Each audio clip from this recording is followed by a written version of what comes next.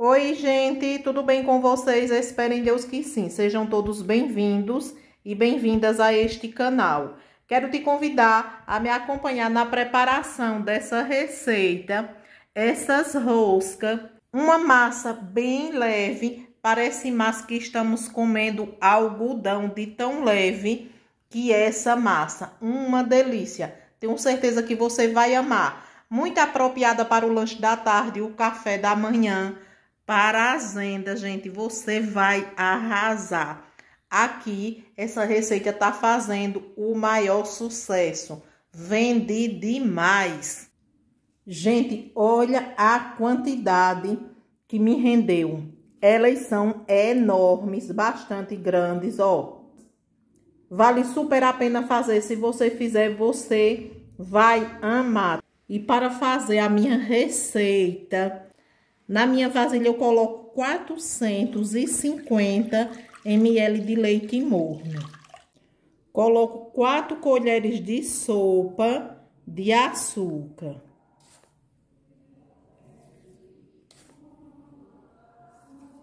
Coloco 10 gramas de fermento seco. Um sachê de fermento seco. Mexo tudo. Se a sua família for pequena, você pode fazer apenas meia receita, metade dessa receita. Vou fazer essa receita completa porque aqui em casa nós amamos essas rosquinhas ou lanche, como você queira pronunciar, que fica aquela massa leve, parecendo uma nuvem, uma delícia. Mexi tudo, o açúcar já se dissolveu. Daí eu vou cobrir e esperar passar cinco minutos e volto com vocês. Já passou cinco minutos. Daí coloco dois ovos, uma colher de chá de sal e 50 gramas de manteiga derretida. Aqui eu estou usando manteiga mas se você não tiver a manteiga, pode tranquilamente usar a margarina.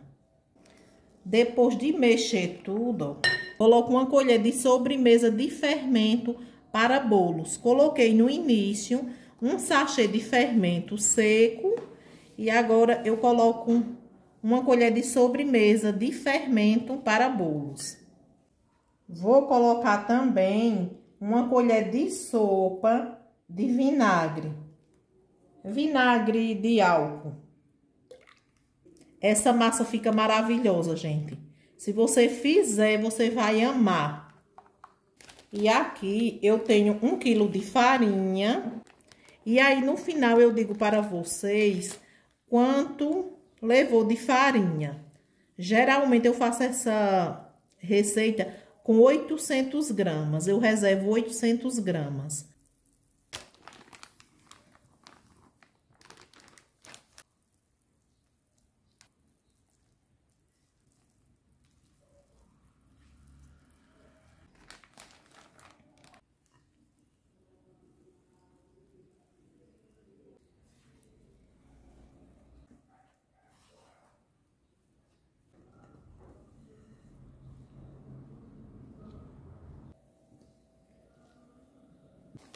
Para ir sovando essa massa, ó, ela vai ficando pegajosa e eu vou polvilhando aqui aos poucos.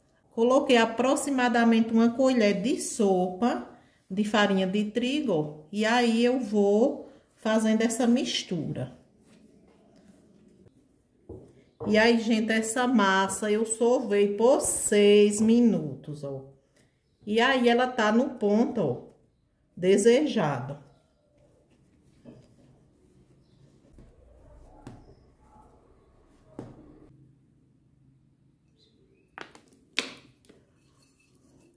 Passo um pouco de óleo. Coloco aqui, ó.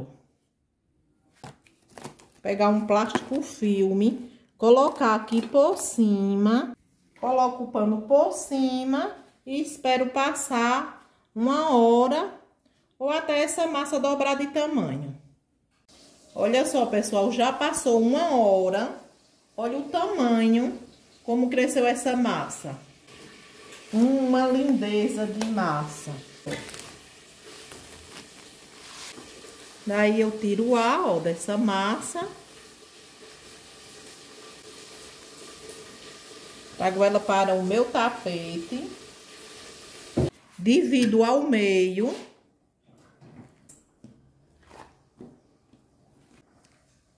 E aí eu vou dividir essa massa, ó. Boleei sete partes.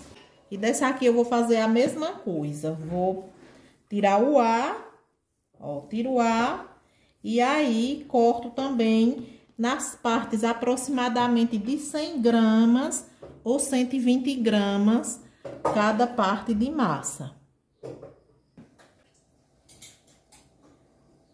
E aí, pego essa, uma parte dessas, ó, faço isso, boleio, e ó, e aí vou reservando aqui Vou fazer em toda essa massa e volto já com vocês, ó.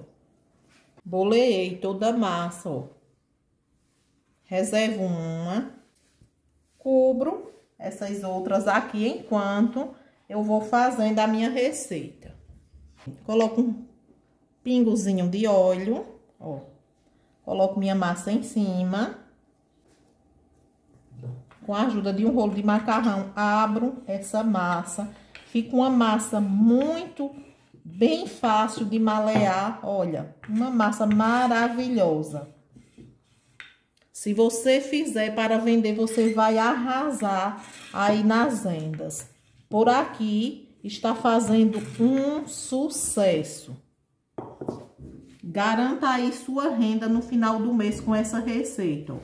Vou girando assim, enrolando,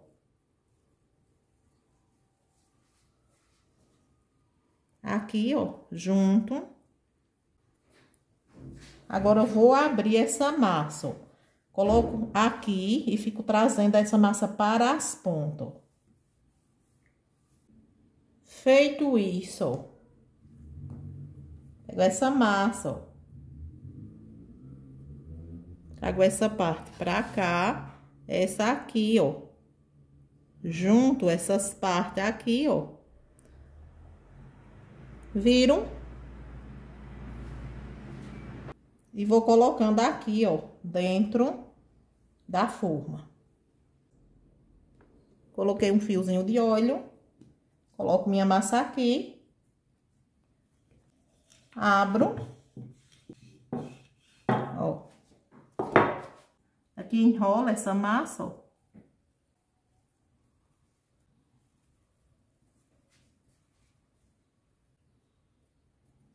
Feito isso, vou abrir essa massa. E aí, feito isso,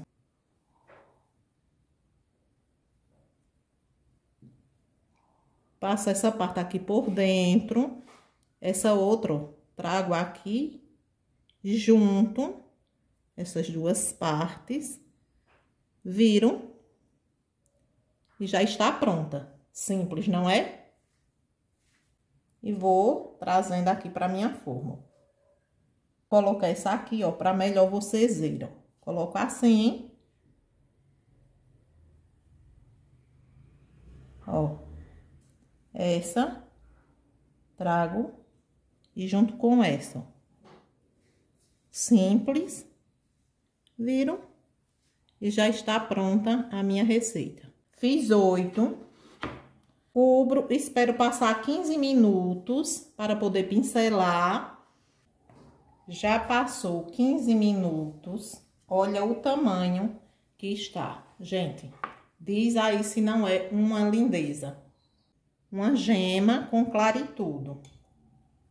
Vou colocar aqui duas colheres de sopa de leite. Agora, pego e pincelo aqui por cima. Na sua próxima receita, mistura assim o ovo, com clara, gema e pincela assim a tua receita e me diz nos comentários o que foi que você achou. E agora, se eu quiser levar ao forno assim, eu levo, mas eu vou colocar um pouco de gengelim branco aqui por cima dessa minha receita. Se você fizer, ó, para vender, vai ser um sucesso. Uma receita para a família inteira saborear para vender no lanche da tarde para o café da manhã é magnífica.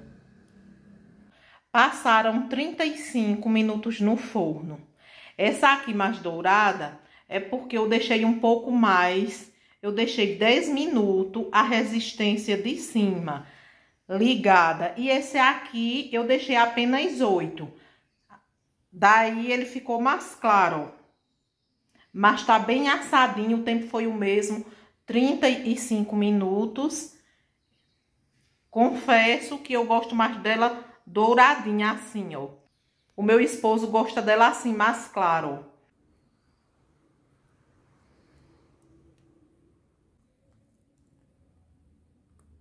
Olha essa massa. É só preparar um café e se deliciar com essa receita, gente, que aqui em casa nós damos nota 10, ó. Gente, magnífica o sabor, esplêndida. Uma receita que para o lanche da tarde, qualquer horário, tenho certeza que você vai amar para vender. Gente, vai ser um sucesso. Se você gostou dessa receita do dia de hoje, não esquece de ativar o sininho, inscrever-se no canal, deixar o teu like, dar essa força aí para o crescimento do canal. Fiquem todos com Deus e até a próxima. Tchau, tchau.